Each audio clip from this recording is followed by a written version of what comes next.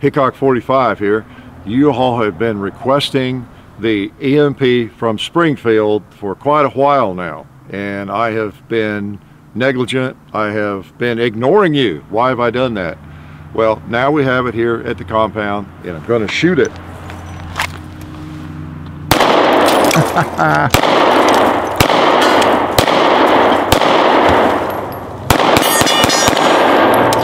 Yes, the EMP from Springfield. Finally got my hands on one. And let's reload it. Let's put a couple on that target. The two liter target. See where to hold. Yeah. okay, I think the sights are pretty much on, if I can hit anything with it we'll put that target in the box for the e-gunner auction. Okay, so it'll be in the box with the firearm. Let's try, oh look, someone put a paint can on top of a two liter. it went in the burn barrel. I hope you caught that. Uh, I've been working on that all week. That's a first. Let's go bowling. Yeah.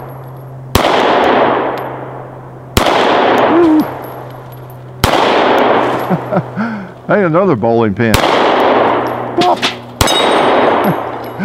I'll tell you, you know, shooting is fun. You never know what is going to happen. Oh man, that was funny. That was funny. So this is the Springfield EMP, and I see why you guys uh, have and gals have been asking about it because it's a pretty cool little pistol. Uh, it was designed to be a 9 millimeter 1911, so it's not a scaled down 45 uh, ACP or anything. It is designed to, to be exactly what it is. And we print fire the hollow points because you know sometimes I forget. I'll load them while you're taking a look at the at the pistol. I fired uh, as of now, I guess it's close to 200 rounds. I'll put some Hydra-Shoks in one of these, and uh, I've not had a bobble. Okay, it has uh, it it has been flawless. So we'll see if uh, we can keep that up. Uh, I understand the early ones, uh, they came out about 2007. Uh, at least I read online, and of course anything you read online is true, right? That uh, there were some reliability issues. Apparently they have uh, improved on that. Well, I won't load it till I get the others loaded. I'll put some, uh, got Hydra-Shoks in that. Let's put some of these HST in this magazine. They hold nine rounds, the mags do, and you get three mags with it, which is kind of nice. It's not cheap. These things uh, uh, retail around $1,150, $1,200. So it's not an inexpensive uh, pistol. I guess, uh, let's load two. What the heck. So we got three magazines of hollow points and uh, two magazines full of 147 grain HST, which is uh, one of my preferred carry arounds. Uh, before we got help from federal okay? So I still carry that. Let's try the Hydra-Shoks first okay? Put these in my mag pouch. There we go. By the way that holster I'll get questions about it. That's uh, Stealth Gear USA they're making outside the waistband holsters now. And uh, I've gotten where I'm wearing an outside the waistband holster more than an inside the waistband uh, lately. Uh, all right. Hydra-Shoks Let's shock something. Oh, I see a 12 ouncer hiding behind that cabinet. Yeah. Let's put a Hydra-Shok on the cowboy.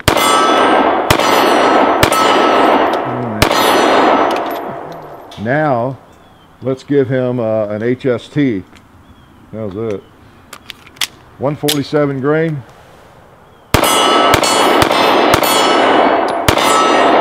Okay.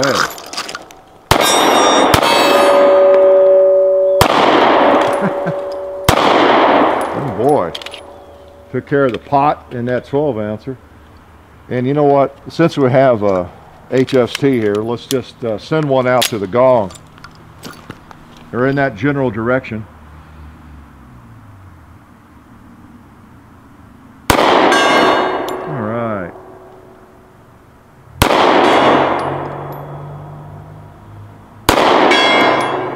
Uh, look at it shake or swing.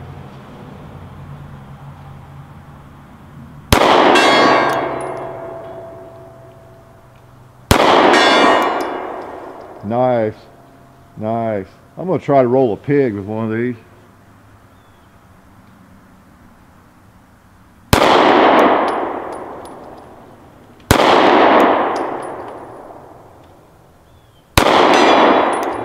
Got him. Oh, there's a 12 ouncer I missed. Wow. Okay. So all the hollow points uh, went through successfully. And that's very important, unless you're living in New Jersey, right? Uh, in New Jersey, I think you're not allowed to have hollow points. Crazy, because they are safer for uh, self-defense. But, you know, people who hate guns, hate freedom, you can't tell them anything. Uh, they're not into common sense. And so that's kind of the stuff you get in, in New Jersey, right? You folks that live there, I'm sorry, you uh, shooters. It's uh, you just have to do the best you can, don't you? Uh, so anyway, so we'll go to let's go to 140 or 124 grain ammo. And uh, as I'm loading again, this is a pretty cool little gun. If you're interested in, I guess where this gun fits is if you're you like 1911s and you you would rather carry a, uh, a 1911 for your carry gun. So I mean, I guess you wouldn't have carry it, but for a defensive pistol, you like a 1911, but you would like a small one, and you would like a 9 millimeter. There's lots of good ammo for the 9 millimeter now. Got some of it on the table, don't I?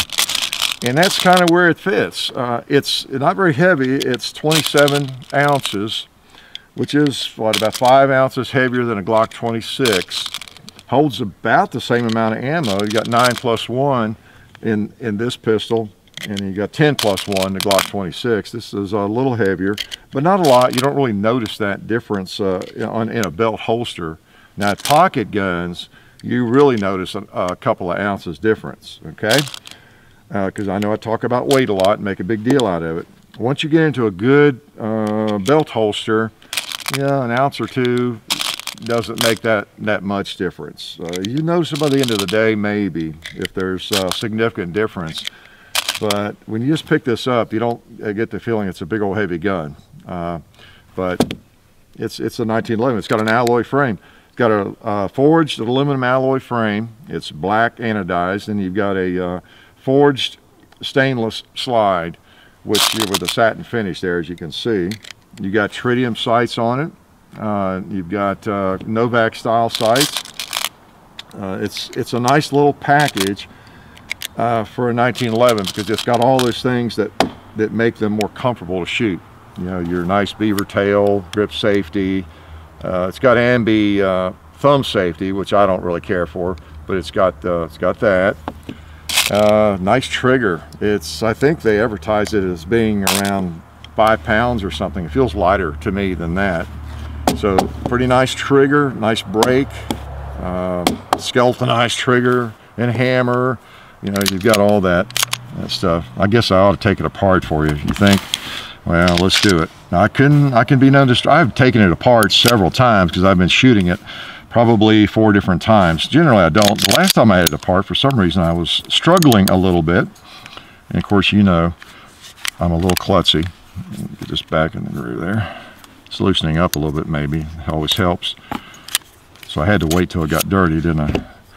And you, you got a uh, double spring, of course, and uh, you just have a three inch barrel, so that presents some challenges. You got this little bushing here at the end. It's a full length guide rod, which I generally don't like as well as the standard. And there you go. Got a thick barrel, big old bull barrel. So that does away with the, the bushing, the classic 1911 bushing. All right, and then uh, slip it back in there, right back together. The bushing back in the front, in the spring, guide rod. This is what I was fumbling for. There we go. Okay. Slide back on the rail. Eh, the machining and everything looks really nice on this pistol. Uh, seems like a, uh, you know, like it's it's a quality gun. Okay, Seems like a quality pistol. Let me put that back in. The main aspect of it that I would interpret as quality is the fact that it has not malfunctioned yet. All right, that is very important. Okay, the most important uh, thing, more so than anything. You know, reliability is number one, and uh, the match grade barrel is nice, I guess, but it's got to function. Okay, because you know what a little pistol like this is for. It's not shooting gongs at 80 yards or pigs. It's for up close and dirty. And you want it to work. All right. So let's shoot it some more. I'm impressed. No malfunction. I'm going to jinx it. No malfunctions. No malfunctions. Okay. Let's put him back in the holster. and Draw him out.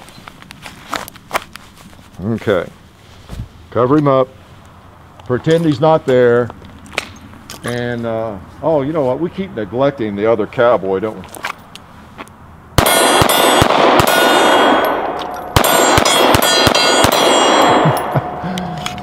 he really does feel neglected, no doubt about it. Reload. Yeah. Got a mosquito up on the microphone. oh, a tin can looking at me there.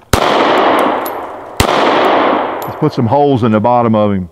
Yeah, three of them. Oh, we have a couple of uh, 12 ounces down there. Yeah. Cool. Propane. ah, cinder block. Missed it, I guess.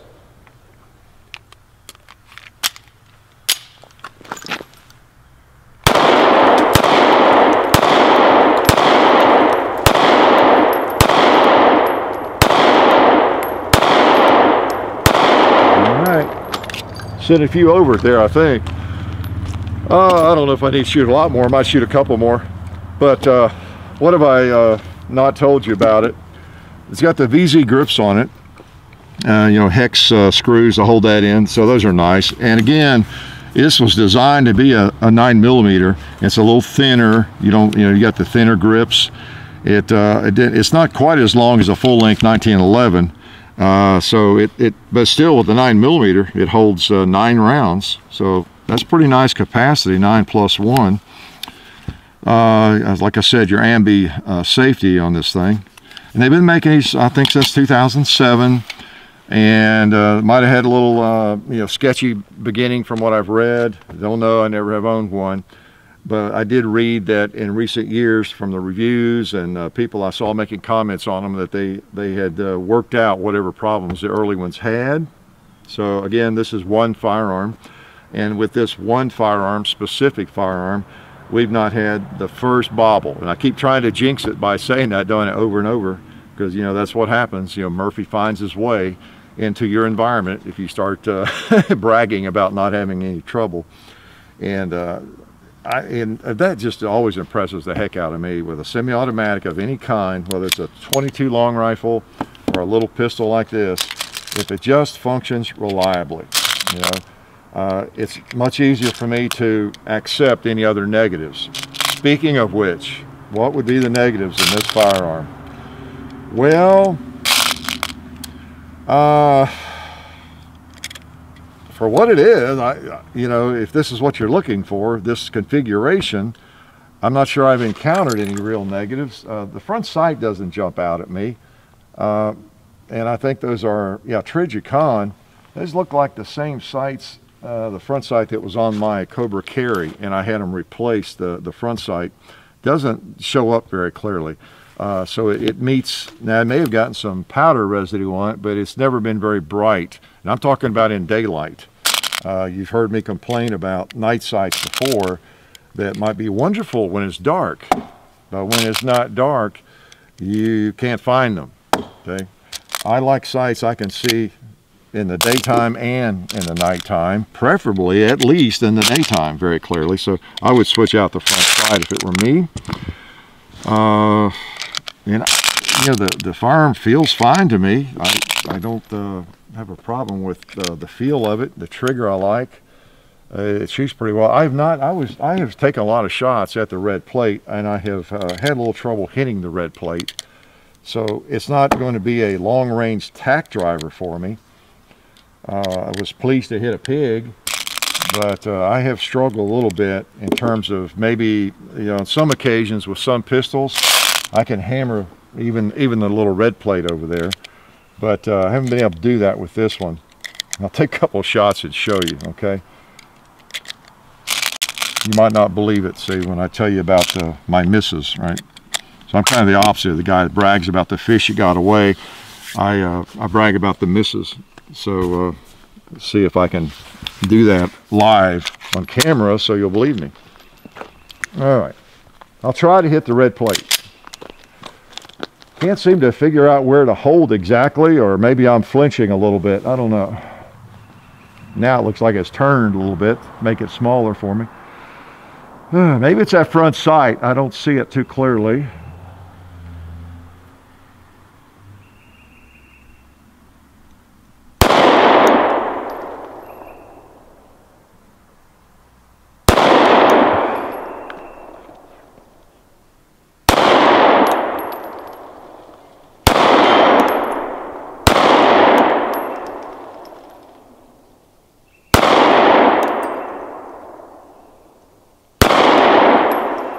I may have popped it once or twice there. Got close to it on a couple others, I think. So let's, uh, again, safety on. Here's what the thing is for. It's not for long range. It's uh, for taking care of business.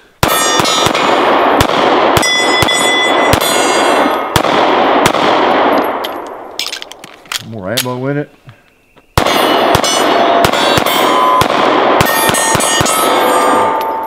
So that's what it uh, is designed for.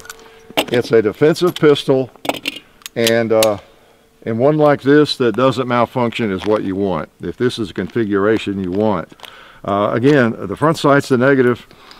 Uh, for, for many of you, the fact that it's a 1911 might be a negative.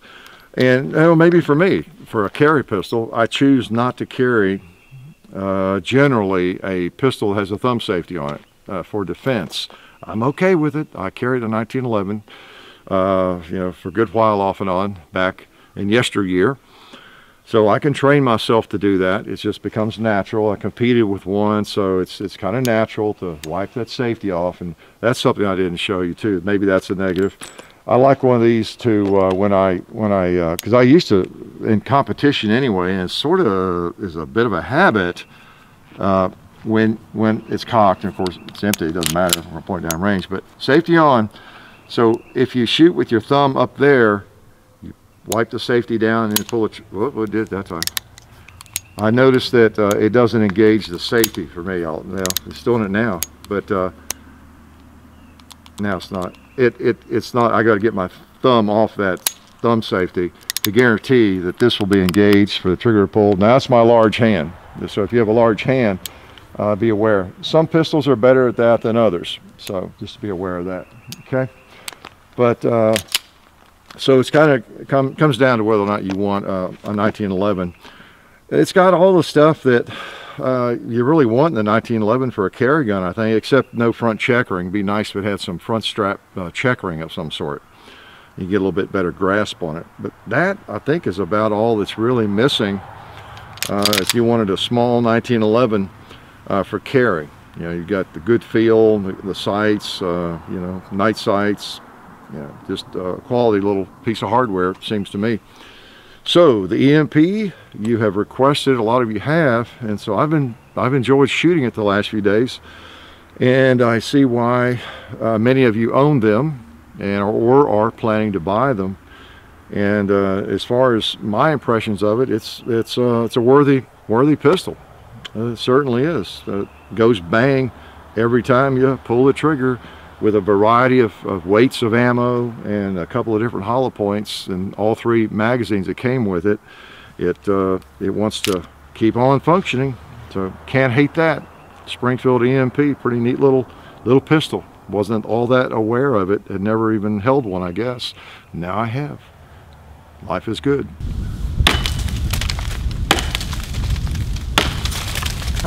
oh, well, since I'm still here, let me take this moment to thank uh, SDI, the Sonoran Desert Institute, for their support of the channel. Uh, we appreciate you know their help. Uh, SDI is a place where you can get certified in uh, gunsmithing. You can even get an associate's degree in firearms technology and work in various areas of the firearms field. Might be appealing to you. They work a lot with veterans and uh, just a pretty cool place. So check out the link, uh, sdi.edu. Uh, the link is in uh, the description of most videos, almost all videos for the last six months or more. So, uh, so check that out. Also, while I have you, since I'm still here, uh, be sure to, to check the links in all the descriptions because you know we're on Full 30 now also with all the videos. So there's a link in the in the descriptions to Full 30 as well as, of course, our sponsors, uh, SDI, ButtsGunShop.com, uh, Federal Premium. So all the good information is there, as well as uh, keep in mind that on Hickok 45 and Son, we have uh, quite a few videos over there. John's doing the, the Gun Culture Radio Show over there. Check it out if you haven't done that yet. Our Facebook page, uh, the Hickok 45 Facebook, the Hickok 45 and Son Facebook page.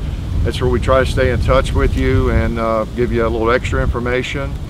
Even post pictures and uh, a little video occasionally, just just whatever. Uh, mainly just a way to keep up with you all and provide some more information. You know, we're not really Facebookers, but it's a, it's a pretty good system for that, even though most of us are not in love with Facebook, right? so check all that out. And you really had better check it out because I might just have to come to your house and have a chat with you if you don't. And I expect to have coffee and donuts ready when I get there.